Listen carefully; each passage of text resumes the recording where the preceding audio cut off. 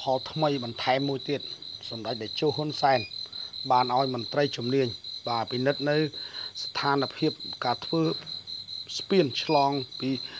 ខេត្តកំពង់ឆ្នាំងទៅកំពង់ធំបាទនេះជាកាដូថ្មីមួយទៀតហើយសម្រាប់សម្ដេចនាយករដ្ឋមន្ត្រីប្រមុខរដ្ឋាភិបាលប្រទេសកម្ពុជា